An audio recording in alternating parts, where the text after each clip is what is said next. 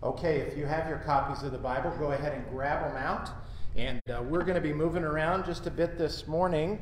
Uh, it's been a couple of weeks, several really, since our last lesson together. And uh, if you'll remember, we began to look at the second C of history corruption. Remember, there were things that happened when corruption entered into God's perfect creation. And when we were together last time, we saw that Adam had rebelled against God's command and he ate the fruit that Satan uh, uh, had deceived Eve into eating. Eve gave it to Adam. And because God is a just God and because God must punish sin, um, uh, things changed. And yet, in God's mercy, He showed mercy to Adam and Eve by covering their sin with the skins of an animal. And this was a, a foreshadowing of the fact that a perfect lamb would come, one who John the Baptist called the Lamb of God who would take away the sins of the world. And who was that perfect lamb? Of course, that lamb was Jesus. And you might remember even back in the garden, Adam and Eve tried to cover up their sin and shame with leaves. Today, we try to do the same things. We say, well, I'll try to be good enough. I'll try to earn God's favor. I'll try to do whatever I can so long as I'm not like Hitler, a mass murderer or something. We, we, we do this rationalizing and this justifying of ourselves, and yet we know our only hope in this life and the next is Jesus Christ. So, what I want to do today is I want to look at the effects of Adam's fall.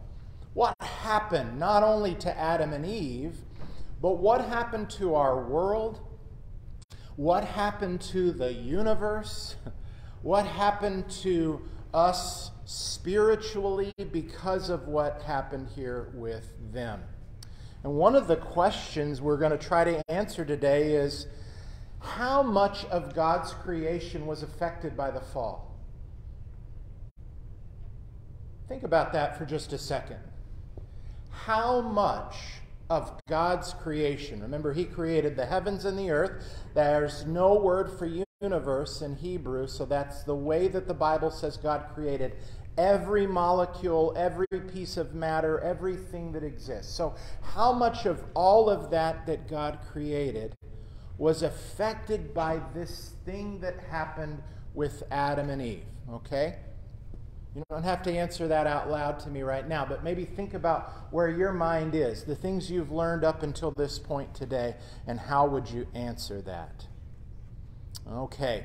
Well, we're going to start with an activity this morning together, and we're going to take a look and begin answering that question. All right? So, in your packets, there's uh, an activity on page 10 if you'll just flip them over uh, to wherever that's it, it should say something like a cursed creation activity or something along those lines here. And what you're going to do is just get that page 10 folded back so you'll have access to it. And I want to ask uh, you to open your Bibles to Genesis 3, and we're going to take a look at verses 8 through 19. Genesis 3, verses 8 through 19. This is the chapter in the Bible where we find about the fall, and let me just begin reading there in Genesis 3 8, okay?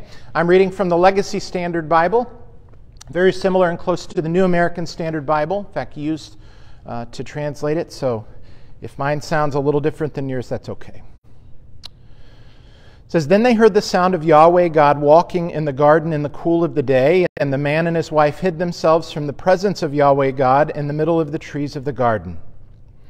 Yahweh God called to the man and said to him, "Where are you?" And he said, "I heard the sound of you in the garden and I was afraid because I was naked so I hid." And he said, Who told you that you were naked? Have you eaten from the tree of which I commanded you not to eat?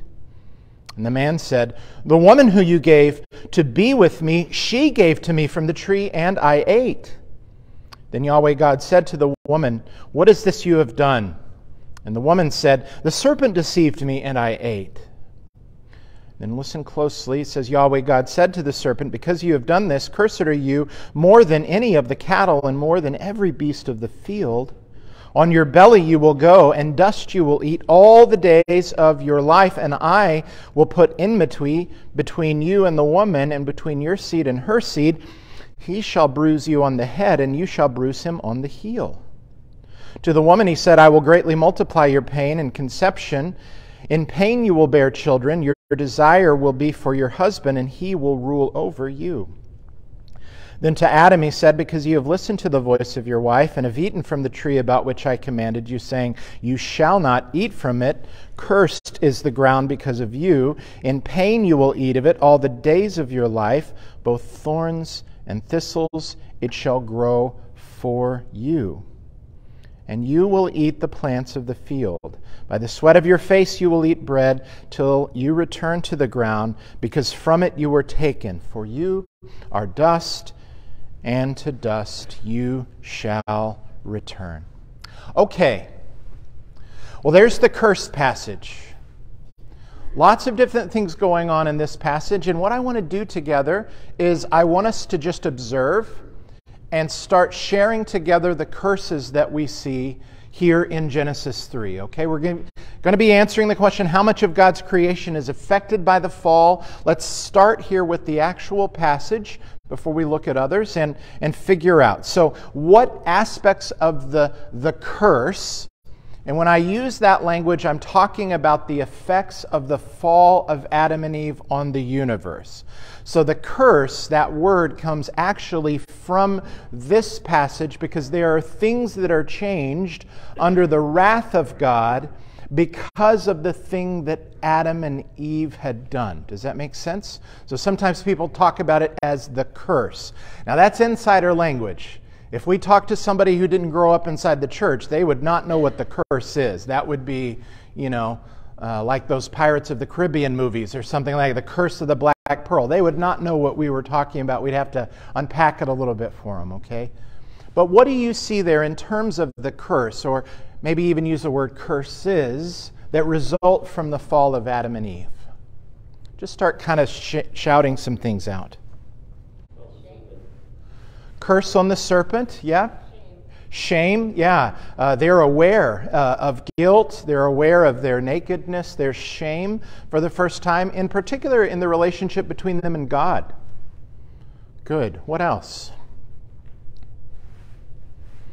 Curse on the serpent. Yeah, what's that curse? It's uh, uh, well, its immediate fulfillment will be on the snake itself. You will crawl on your belly and you will eat dust. And then there are parts of that curse that are aimed at Satan, right? Uh, he is going to experience enmity. Some of the Bible translations say that's another word for hatred. You experience hatred between the offspring of Satan and the woman. And the offspring of the woman, who is that? Always a safe answer when you say Jesus. it's Jesus. That's the offspring of the woman.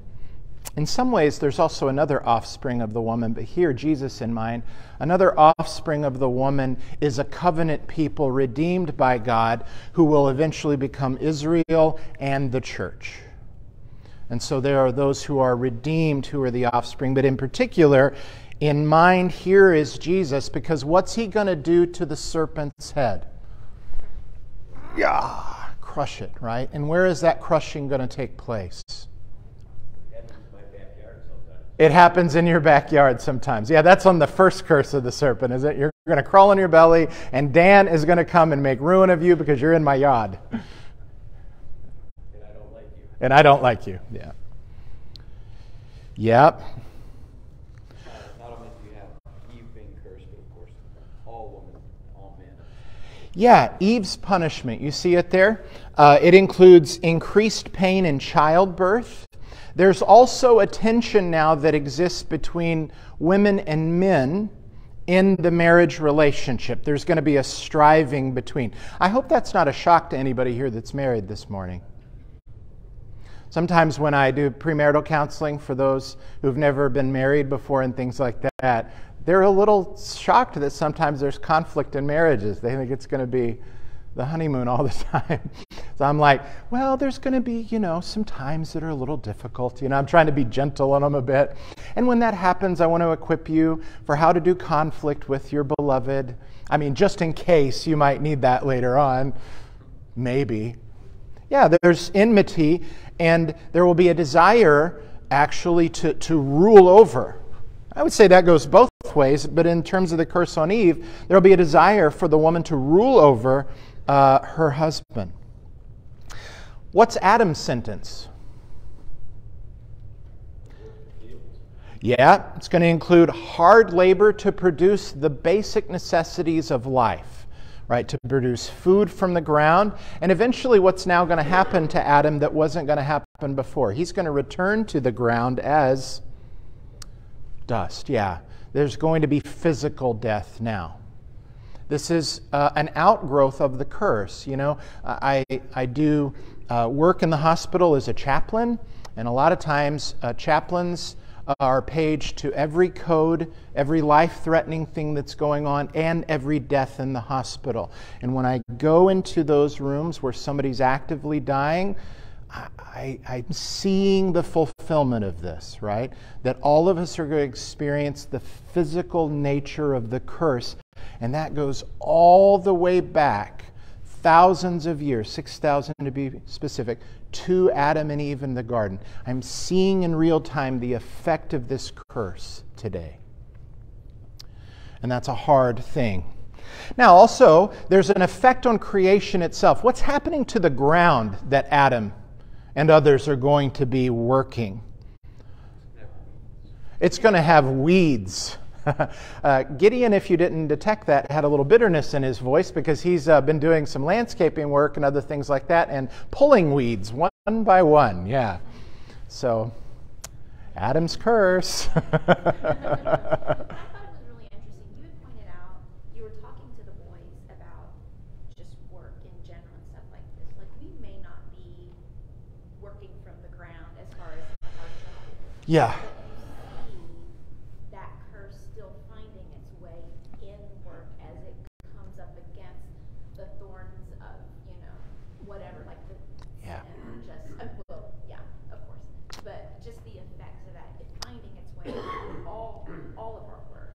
Yeah, absolutely. So Rachel was saying, you know, that um, that aspect of the curse. So uh, the ground itself is going to produce thorns and thistles, and work itself is going to be very difficult.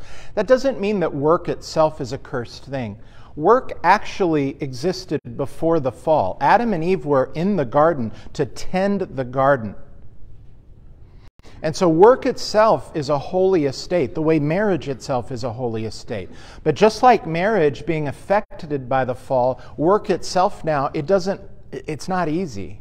It resists the labor that we give. So, when you leave these doors this morning and you go out and you have tomorrow a really difficult cubicle mate next door who's a pain in the neck to deal with, you know, I'm assuming you're innocent in all this or whatever, but, you know, that enmity that exists in the workplace or the striving that you feel in the institution of family with the estrangement between uh, another family member, whatever, all of that is the, the after effects of the fall of Adam and Eve. These things that are good at their core have become difficult and entangled with conflict because of what happened in the garden.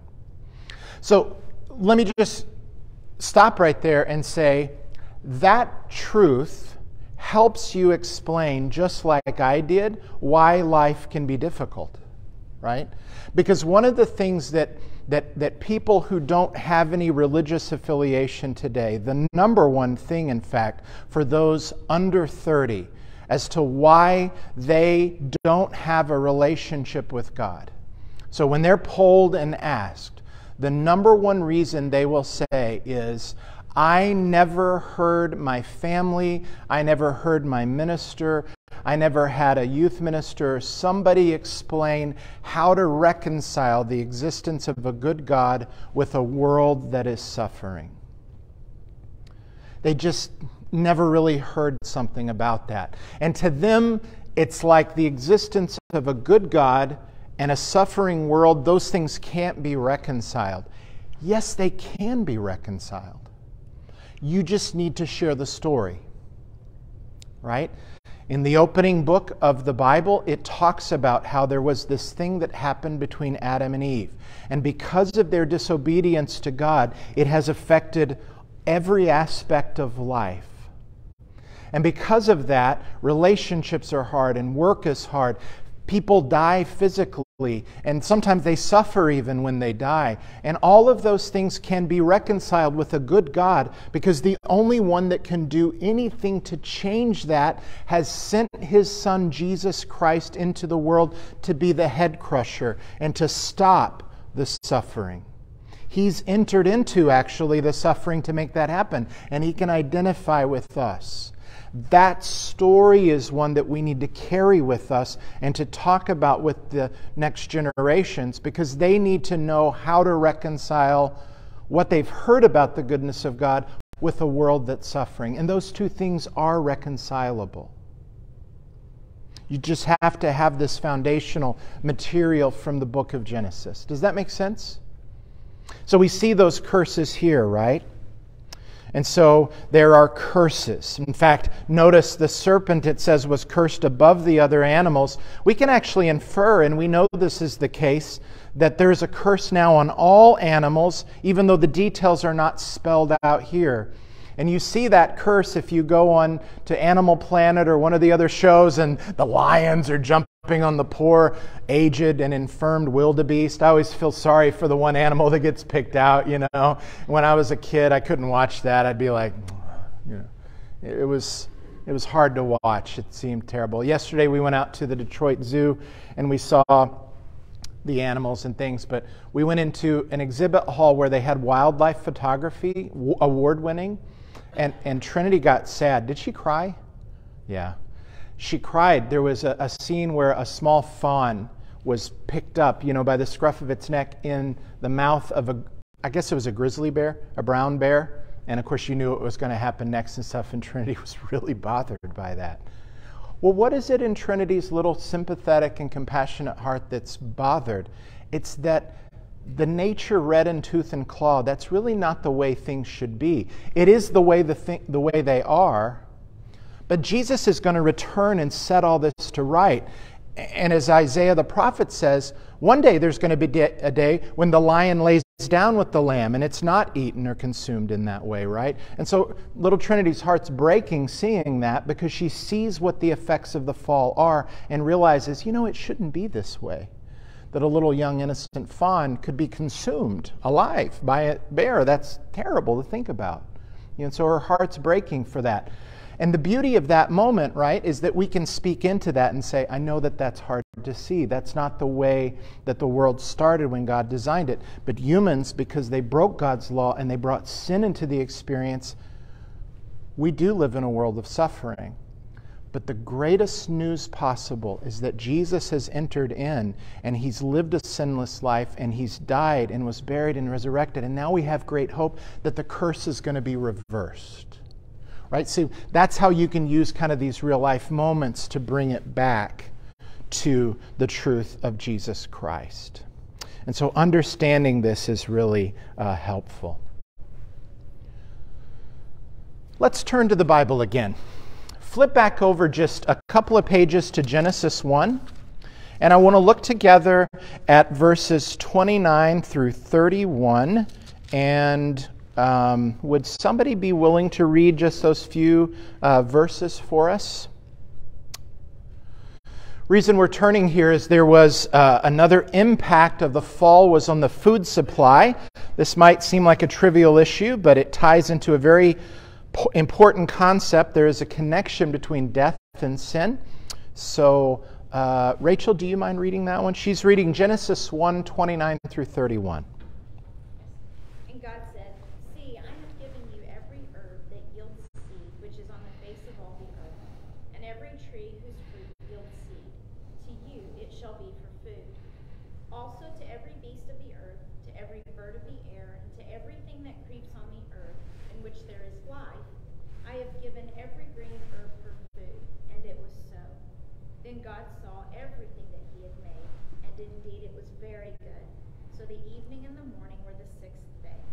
Okay, thank you for that. So here we are. We're at the end of the creation week, uh, the end of the sixth day. Um, Adam and Eve are there, and um, God has commanded Adam and Eve, notice, to eat after He'd created them. He's called them to rule over the earth. Remember, we called that the dominion mandate for humanity. They're to remain here and to manage creation on God's behalf as stewards.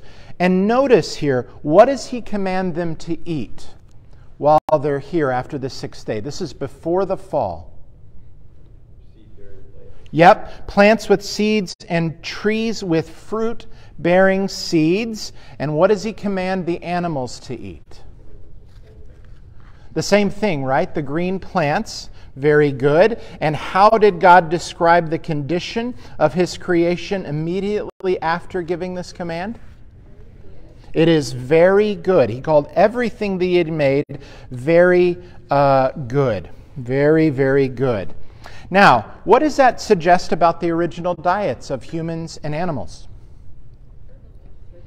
It hurts me to say this because I am not a vegetarian. It hurts me to think about a world without bacon. If any of you are vegetarian, I, I do respect that. I, I am not vegetarian. I know that'll come as a shock. Um, but originally, not to laugh, the creation was vegetarian. And it was true for animals, it was true for humanity. In fact, this idea of a vegetarian diet, it's confirmed later on in Genesis 3 when God tells Adam that he was to eat the plants of the field by the sweat of his brow, by the hard labor that he would do. So even after uh, that point, Adam would be fighting against the thorns and the thistles that were a part of the curse on the ground. God had provided food from the garden, but he was now, in essence, saying, Listen, Adam, you go plant your own garden, you rebel. And it's going to be hard. You're going to realize what you've lost uh, in the Eden existence, okay? Uh, turn over to Genesis chapter 9 with me, if you will. Genesis 9, and then we're going to go into the New Testament pretty soon. We're going to. Oh, I'm sorry. Vicky.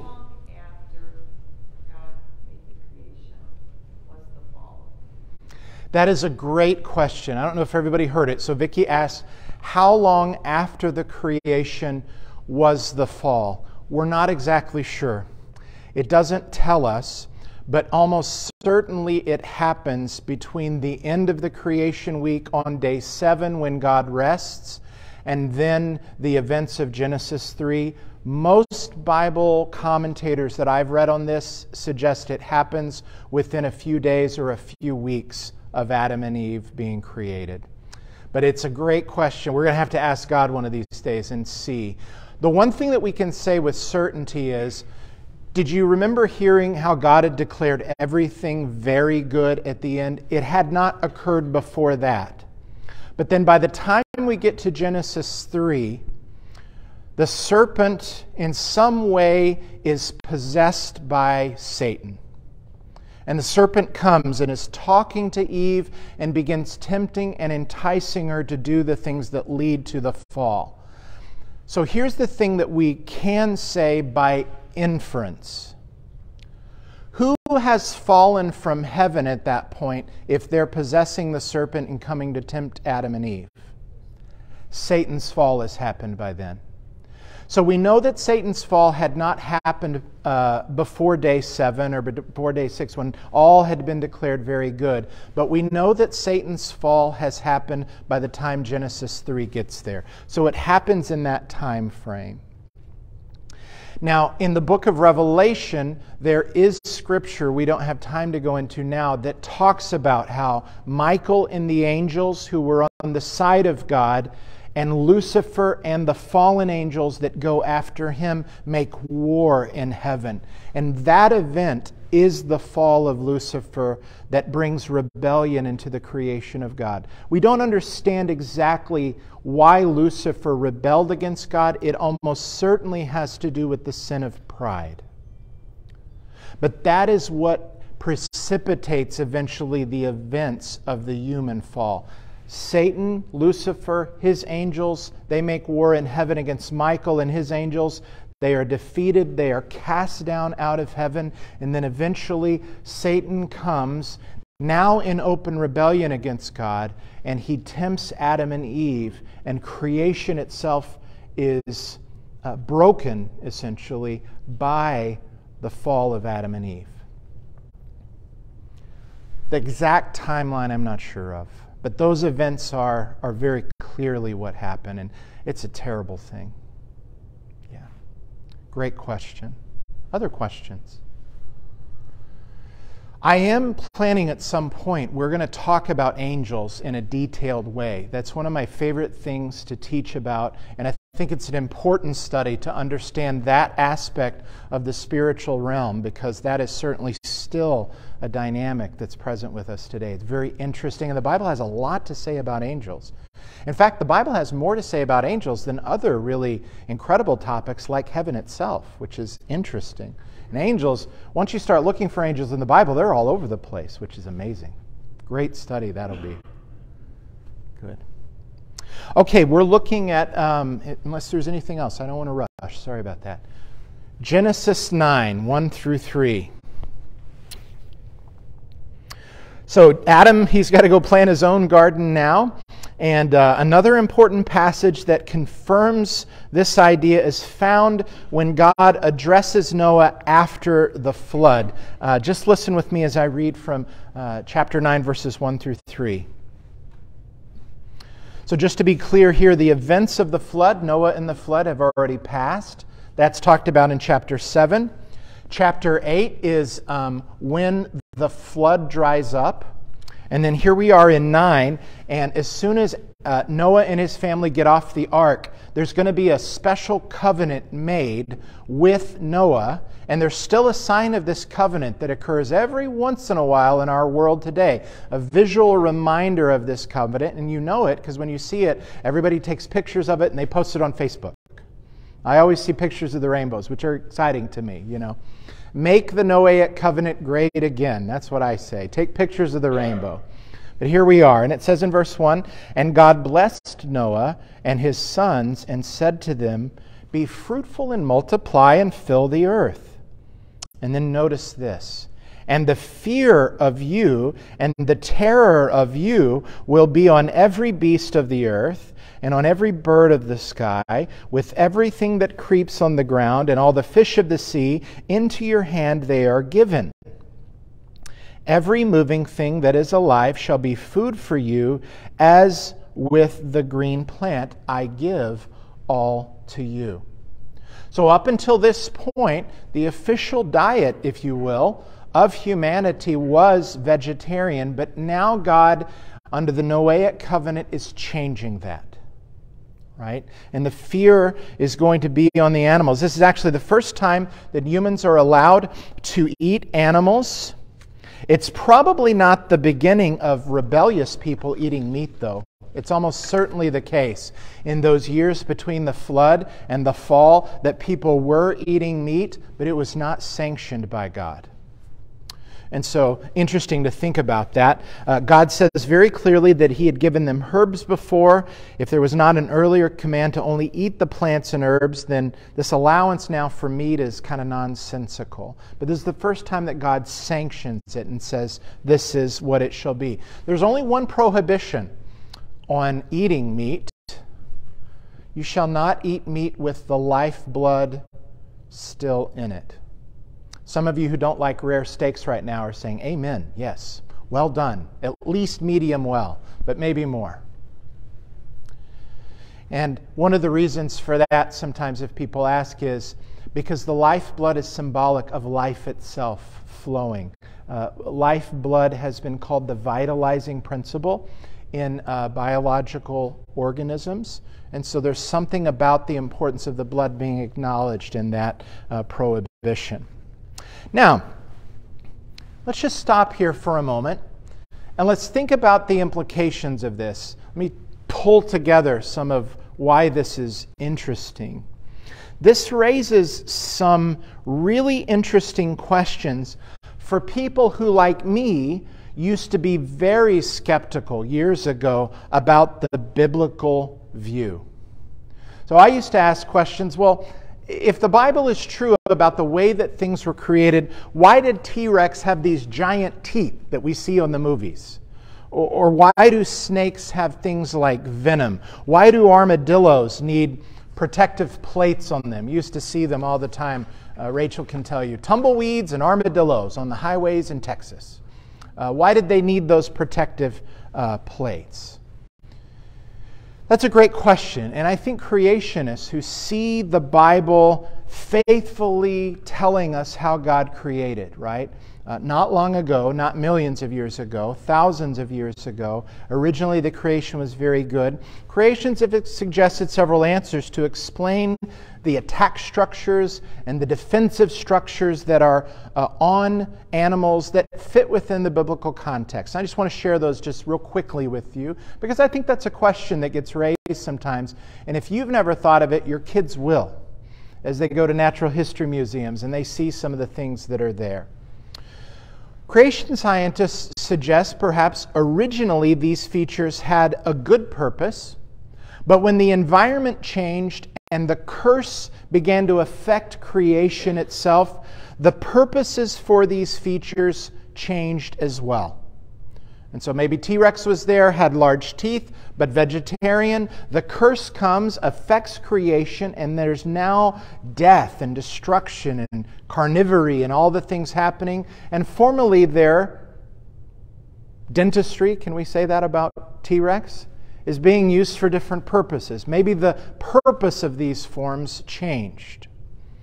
Other suggestions are that God added new features to create uh, two creatures at the curse so that they would be able to withstand the onslaught of violence that's brought on by sin. So maybe originally the am- uh, armadillo kind did not have defensive plates. But now that violence has entered the world and there are going to be things trying, like predators, to eat them, their bodies themselves change. That is a possibility. Uh, we know now from genetics that our genes contain a lot more information in them that are often expressed. We've learned in the last 25 years about these uh, unlocking genes called Hox genes that can actually change radically the body forms of different animals. All uh, living things that are animals possess these Hox genes. And so in many ways, scientists now know that, that animals are a little bit like a Swiss army knife. And depending how you turn on and off these genes, different forms can result. It's possible that genetically animals were affected by the fall.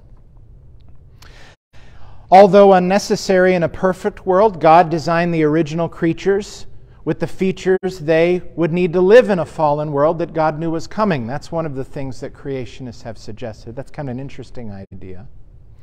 And then finally, maybe God placed design for these features in the genes of the original creatures, but they didn't become active until after the curse. These are various explanations for why animals in the fossil record look like they do. I mean, if you've ever gone to the, the museum and seen these large carnivorous dinosaurs, they're pretty remarkable carnivores. They look like they're built for being predators.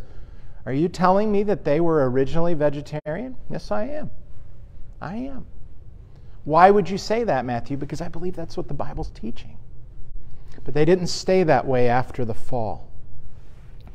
And we don't know exactly how these animals acquired their attack structures, but this we do know. According to God's word, remember that's our final authority, animals were originally vegetarian, and one day they will once again get along with each other as it states in Isaiah 11. The lion will lay down with the lamb. It will be a day when uh, the infant, the baby, will be able to sit next to an, an asp, a, vis- a venomous snake, and not get bit, not get poisoned. There is going to be a reversing of the curse. That's what Isaiah the prophet prophesied. And so that's a great, a great uh, promise.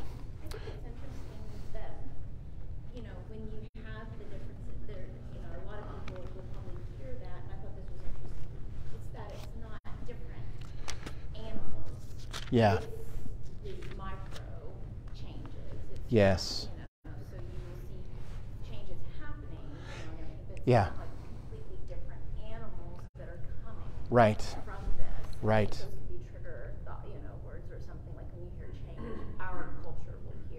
Yeah. You know, those macro changes, and that's not the same thing.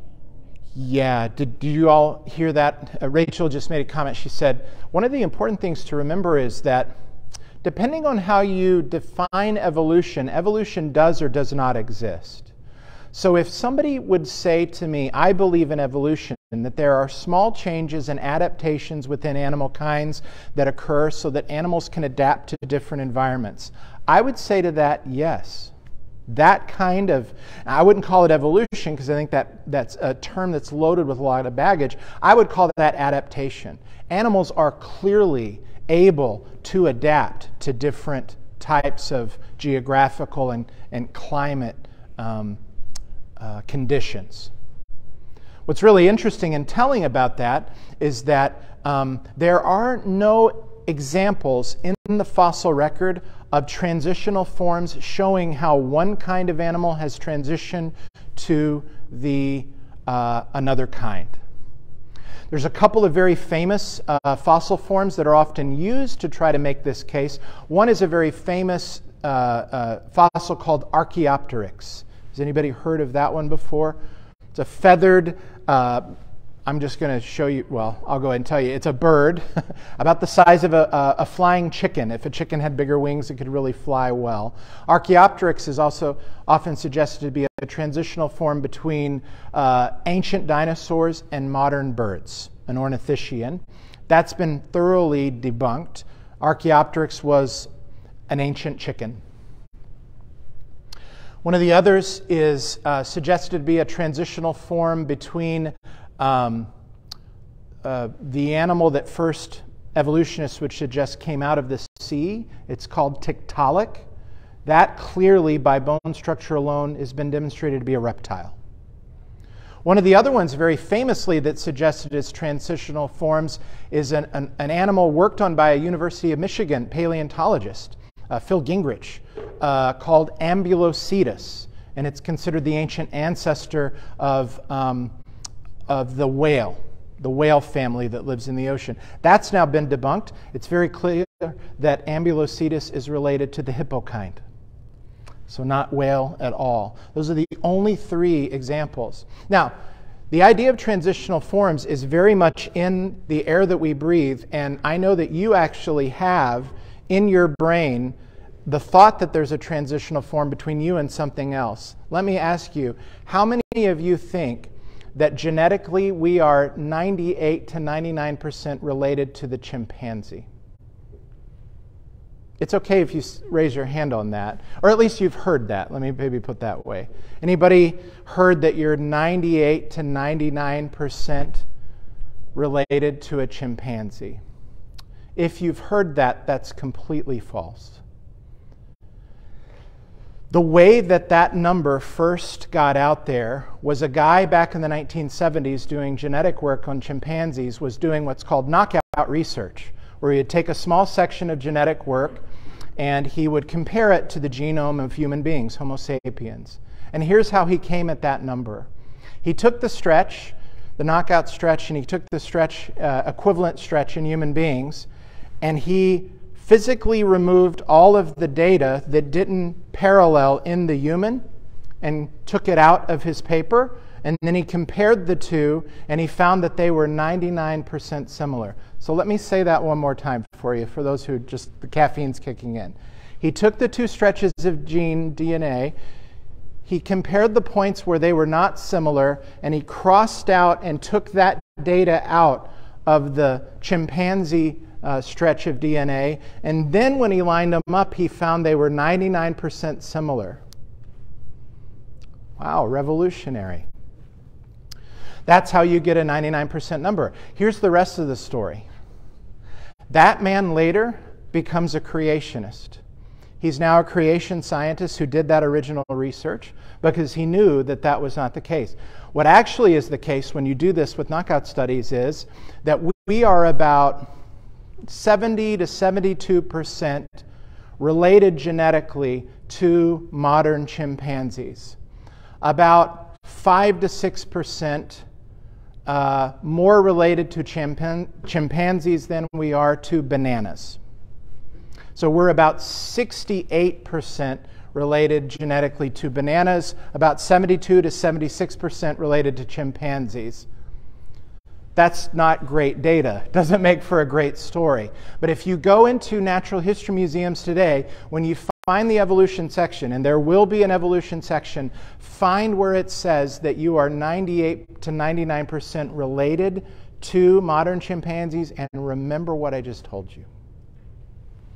Just because it says it in plexiglass lit up in a natural history museum doesn't mean it's true. Doesn't mean it's true. And I'm not telling you to disbelieve it just because I've said it. Research it yourself. Go in and find this research. Google now has opened up a wealth to us. And just say, how do they know that? And what was the original study that proved that? And show me that in print. The thing you're going to find on the internet is the actual original scientist disproving it for you. Right? Saying that's actually not the case. And let me tell you how I got to that number. Remarkable. Remarkable stuff. Okay, we're almost out of time. We got to read one more passage. Because the original question, right, was how much of creation is affected by the fall of Adam and Eve? We haven't really fully answered that yet, okay? And so let's read one passage together and then let's be done. All right. Romans 8, 19 through 22. So Paul is here in Romans. He's talking about the present suffering of the world. You know, we look around us in the world, it's, it's really rough. It's a, it's a rough place, a lot of suffering, and yet we have this promise of a future glory, a moment that even Isaiah was talking about when things are going to get better. And he says, beginning in verse 18, we're looking at Romans 8 18 through 22. He says, For I consider that the sufferings of this present time are not worthy to be compared with the glory that is to be revealed to us. For the anxious longing of the creation eagerly waits for the revealing of the sons of God. For, and here Paul very, very much thinking about Genesis 3. For the creation was subjected to futility, not willingly, but because of him who subjected it, in hope that the creation itself also will be set free from its slavery to corruption into the freedom of the glory of the children of God. For we know, notice this, that what? The whole creation, the whole creation groans and suffers the pains of childbirth together until now. So here's a shorthand way to refer to the entire universe. Everything God has created, all of it is groaning. And so when you watch those nature shows and that gazelle or wildebeest gets eaten and that's happening, that is creation groaning. When you see star clusters bursting, uh, uh, you know, the Hubble telescope and the James Webb now, they're looking into and seeing things we've never seen before. And you see the violent processes of planetary bodies impacting each other. You see black hole ripping things apart. That's creation groaning. When you're fighting on Monday with your cubicle mate who's, you know, uh, playing his music too loud or he's burning that candle with that terrible sandalwood smell, whatever it is, uh, creation is groaning. When you eat that, that, that leftover dish in your refrigerator that's turned and you take a bite and you go, oh, that's not good anymore, creation is groaning. And it's waiting for something, the sons of God to be revealed. That is to say, for us who have been redeemed to be fully redeemed, to God to bring all of the curse and reverse it. We're waiting on that. So, how much of creation has been affected? All of creation, the whole creation. And if you want to read about how great it's going to be after the curse is reversed, you can just go to Revelation 21. That's where we read the rest of the story, as Paul Harvey would say. Okay, we're out of time, friends. Let's thank God for our, our, our hope that we have in Jesus, and uh, thank you for being here this morning. God, we thank you for teaching us clearly why even though you are a good God and you're good all the time, that we see a world around us that is suffering. We know it's because of the fall of Adam and Eve. We know because all creation has been affected by what happened in the garden long ago. and that that creation is waiting for the full consummation of the curse being reversed. And as John writes in Revelation, that the first heaven and the first earth, they will pass away. So the reverse of that curse will be complete, and, and all things are going to be made new.